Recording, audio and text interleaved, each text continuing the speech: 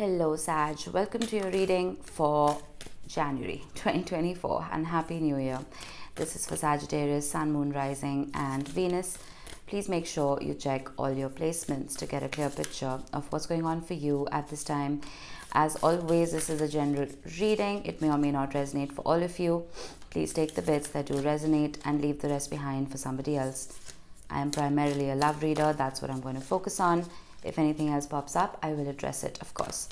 I'm going to be freestyling your tarot spread, starting off with some oracle cards, which are impossible to shuffle.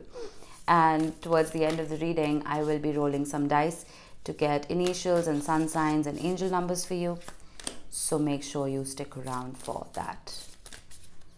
All right, finally, let's see what we have. Antimony. Cancer got the same card. Interesting. And we have Sap of the Moon Plant. this is a brand new deck for me. I will have to refer to the book, so you'll have to give me just a second.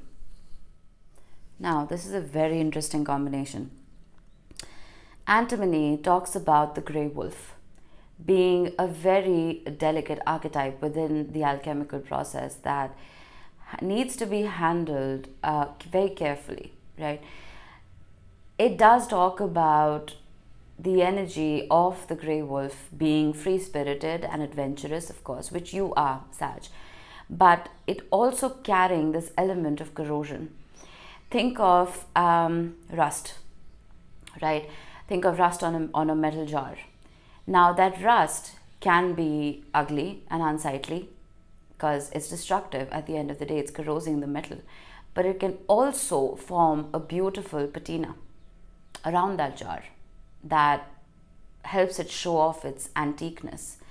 There is something here about your energy being used constructively, right? It being used creatively and not letting that wild and free spirited nature that we're all born with as animals, right? Not letting it get away with you. Using it in a way that you, you help create something of wonder, something of beauty within yourself or external to your being, right? This could even talk about art, music, whatever. Interestingly, sap of the moon plant is a very, again, very internal um, element. It talks about the divine feminine, of course, but it also talks about your subconscious mind. It talks about um, memories, it talks about ancient wisdom. It talks about all things that are not tangible, right? It's the unconscious. There's something here about, firstly, your dreams being very important. I would highly recommend you keep a dream journal. Meditation being very important, where certain seeds of wisdom that have been planted into your psyche will not be accessible to your conscious mind. They will only be accessible to you through deep meditation if you are new to meditation, I highly recommend you do it for even five minutes a day and make your practice more regular. There, there is something here about untapped potential, almost this reservoir of beautiful energy within you, Sag, that is not being used to its highest potential. Right? This nectar, whatever this is, it can be incredibly healing to whatever it is that you are going through. Let me see what your tarot says. This is a very interesting combo. Something internal to you that, if not used correctly, can be corrosive, but if used wisely, it can turn you into a completely new person. It's almost like a switch deep within your psyche. It's possible that difficult relationships or difficult connections could have brought out that grey wolf, could have brought out that corrosion, right? Where the beautiful alchemy that can come with the grey wolf energy had to take a backseat. All right, now I'm using two decks today. I'm using the Tarot of the Light and the Shadow. We're going to use the Shadow deck to see what it is that you must leave behind in 2023 and the Light deck to see what we can embrace. Wow, the Wheel of Fortune. starting off the reading in the shadow. I'm feeling for a lot of you, you may have lost faith. Lost faith in yourself, lost faith in the process, lost faith in God, lost faith in the universe, lost faith in the divine, in the cosmos. The Wheel of Fortune and the shadow can be us getting in the way of alchemy, literally. When the Wheel of Fortune is in the light, it is us giving the universe permission to almost puppet us to create our destiny while we work hand in hand with it, of course. But this is a wrench in the works. This is loss of faith. And it's possible that the tower, right? It's possible that um, you may have been met with a lot of obstacles when it came to love. And to a very large extent, it brought out the worst in you. The Nine of Pentacles in the shadow, you see that. Now, the Nine of Pentacles in the light is a beautiful card of independence and autonomy. Now that the North Node of the Moon has moved into Aries and the South Node into Libra, that independence is, is being focused on. There's a hyper focus on that autonomy, right? And for good measure, it's, it's, it's, it's, it's good that we're doing that because sometimes there are certain relationships within our lives that need to be left behind that are not there to serve our highest good, our highest potential. But the Nine of Pentacles in shadow is isolation for isolation's sake. This could be you not knowing the difference between being alone and being lonely. Right? Sometimes when we enjoy our own company, we, we love being alone we are very productive when we're alone. We use that wolf energy constructively. But in the shadow, um, I'm almost getting devil's workshop. This is not going to apply to everybody. But personally speaking, I went through this in 2023 where being alone wasn't constructive at all.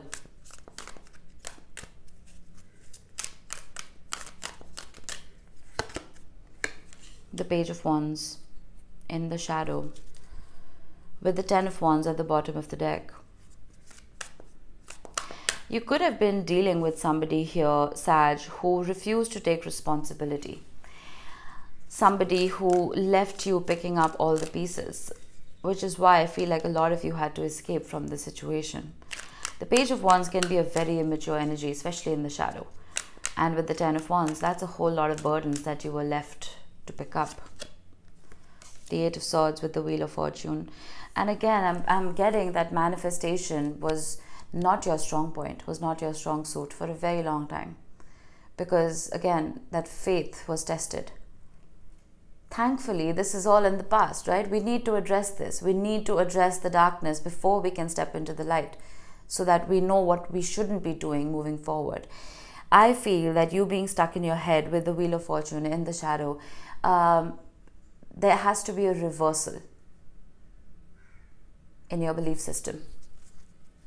Your ruler, Jupiter, is finally going direct after a pretty decently long retrograde period. So you're going to, all collectively going to be coming back online. And you are a very spiritual sign, as you rule the ninth house, which is a house of philosophy, beliefs, and ideals, right?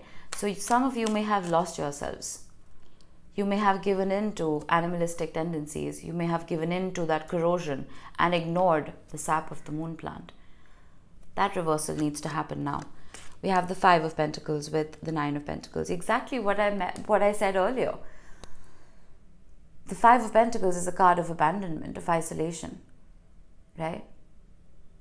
And I feel like for a lot of you, if there was a separation and a connection, this created a very deep hole in your heart and while those holes are great right they they help us evolve and grow into wiser mature people they can also transform our personalities for the worse if if that energy is not used constructively. It can corrode instead of help us wisen up. So whatever abandonment or betrayal there was here sag you need to remove the pain from your psyche and only carry the lesson forward right? And we have the two of cups yeah. I knew this was about somebody else. This was not your energy the page of wands I feel that love or whatever this connection was, whoever this person was that you were dealing with, there may have been false starts. There may have been um, lies, betrayal. It's almost like you couldn't trust the love that was uh, being expressed by this person. You see at the bottom of the deck, we have the Knight of Cups. And in the shadow, he's tossing that cup aside behind him, almost like cups in the tarot represent emotion and love. Almost like love doesn't matter. Love is not important. You know what i mean? And again the 10 of wands that i saw at the bottom of the deck with the page of wands this could have been a highly immature person. Someone who could not take responsibility. And um, love as a whole just carried this this tint of gray for you. It was like a gray cloud over your head. And that's why antimony is here because i feel like those memories have become very corrosive. All right. All right. We need to leave this behind Sag. all right? I'm gonna pull the light and see how we can correlate this. That is a difficult energy to deal with. I don't know who it is you were dealing with but they look like a piece of work. All right. We have the three of wands moving forward forward and upward. Um, i feel that going forward you have a plan it's almost like you're looking to the horizon. You know the ships that are coming in for you, and you know exactly which color of ship you want. That manifestation, that power of manifestation that we may have lost a little bit earlier, it's coming back online. The Three of Wands is the minor arcana card for manifestation. That faith, that hope that, yeah, my ship is coming in, even if you can't see it yet. Feel like that faith is being restored the Five of Cups has been showing up in the light for everybody. And to be honest, I kind of like it. Because here in the shadow, I'm forced to look at only the shadow meaning of the card, right? There's no neutrality in the tarot in this deck. And in the light deck, I'm forced to look at only the light, right? The Five of Cups, if you're familiar with the original Rider Waite, this is so interesting if you're familiar with the original Rider Waite, it represents a hooded figure grieving over three cups that have been spilt over. But he's failing to see the two cups that are standing upright behind him, right? Two very full cups of love. That is the, the whole analogy of the glass half full, half empty. You see the two of cups right here. While it was in shadow, it's almost giving this this card is almost giving a nod to the two of cups in the light for me. This is not losing faith in love while digesting the pain that love has come with overall, not losing faith in the fact that, that your ship truly is coming in. The King of Swords. I'm going to get one more card with this. The Two of Swords. And one more.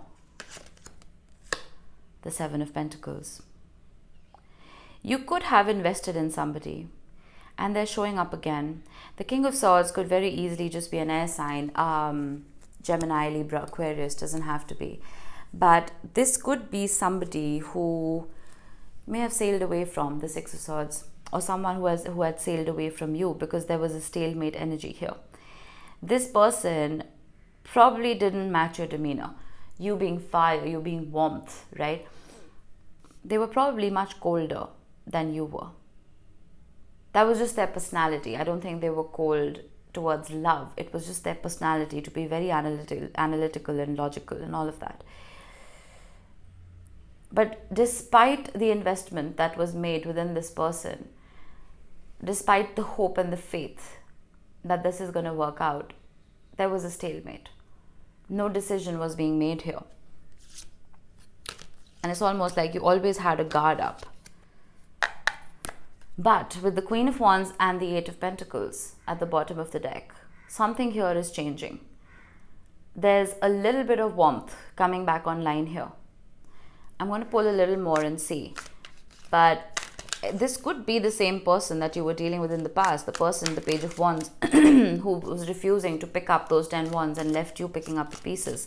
They're turning into a king, regardless of gender. Doesn't matter what gender you're attracted to, just take the energy with you. This is somebody who is growing up a little bit. The King to the Queen of Swords, very interesting. I feel like over time, your love language has transformed, Sag. It could be because of this person. It doesn't have to be. It could be because of your previous relationships. It doesn't matter. Your love language has changed. And I almost feel like this person is trying to match that love language. There could have been arguments with the Five of Wands at the bottom of the deck. There could have been debates. But I'm almost getting, because all of this is in the light, I'm getting fighting for each other instead of against each other. I don't know if this is someone new or someone old. It doesn't matter. It just carries the energy of love, regardless. There is a match. We have a divine pairing right here. And I feel like the two of you, it's almost like you're on the same team. The King of Wands, I saw the Queen of Wands at the bottom of the deck, and the Two of Cups finally in the light. You know what? I'm going to take it. I'm going to take it. I was talking about the Two of Cups showing up in the shadow and kind of showing up in the light as well. Now it's fully showing up in the light. I knew this was talking about love any other reader would have seen the wands and the swords and all of that and, and not spoken about love at all. I knew I was feeling something here. There's a lot of depth of feeling in this situation.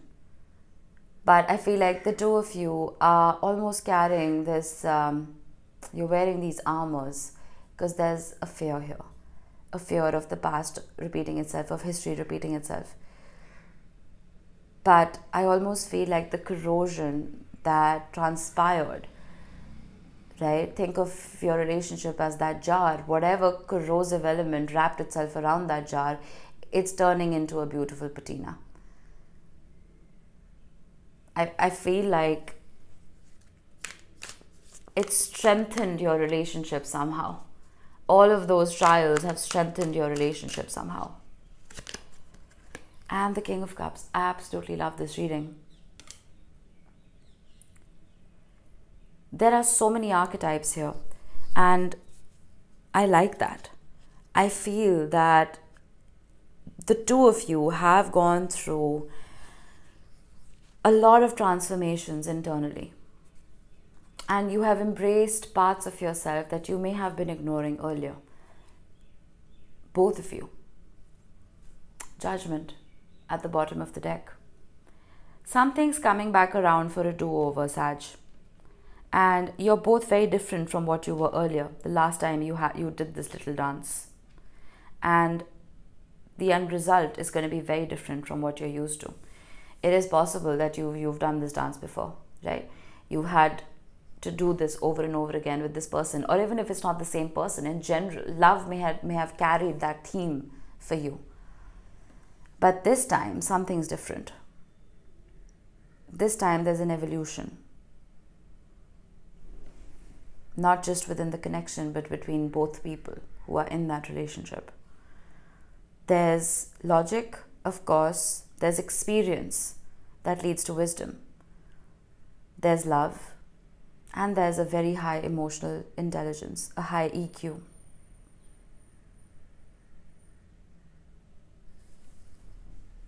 This is very interesting. We have Temperance and the Page of Swords. There you are with the Seven of Cups. Don't rush into this because, firstly, Jupiter, your ruler, is going to take a little bit of time coming back online because it's going to have its post shadow period to go through. So will Mercury. So your mind may still be just a little muddled. And I was a little all over the place, admittedly, during this reading. I wasn't very clear and I apologize. But um, I feel like that's how you are feeling. That sharp clarity of thought that one should have, you don't have it just yet. Neither do I. Let your planet move completely out of shadow. Things are going to make a lot more sense for you and this person but the trajectory of this relationship, of where this is going, I absolutely love it. This, this kind of reading is what leads to the Ten of Pentacles, to that legacy of love, to generational wealth, to solid, solid, solid relationships. All right, let's see what your dice has to say, Sag. we have Leo. You could be dealing with a Leo. You may have Leo heavily in your chart. Doesn't have to be. But we have a full moon in Leo on the 25th of January. So that could be a particularly important date for you. Keep that in mind. And this also rules the fifth house. So, romance, dating, play. Stop putting so much pressure on yourself, right? You're a very happy go lucky sign. My dad's a Sagittarius. And I keep reminding him um, that he is one because sometimes if you guys get too serious, right? it kind of freaks everybody out. So embrace the inner child that we're all born with, you particularly. Then we have, I always mess this up. We have Jupiter. There we are. I'm not making this up. I hope you can see it. Yeah. Now, Jupiter, I have been mentioning, is going direct, your ruler. A lot of blockages are going to be lifted for you, Sag. I promise you that. And then we have the number five. If you have been seeing triple five a lot, it talks about change and something new coming in. And I absolutely love that for you. And five, again, the house, fifth house of romance, dating, play, creativity, joy, music, dancing. Indulge yourself just a little bit. All right. Let's see what initials we can get for you.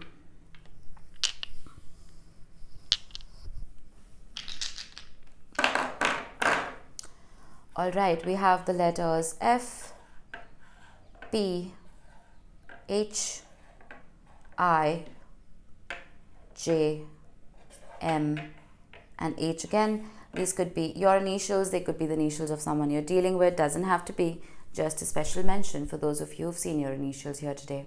All right, Sag, that was it. I hope this helped. I will see you in the next one. Bye bye.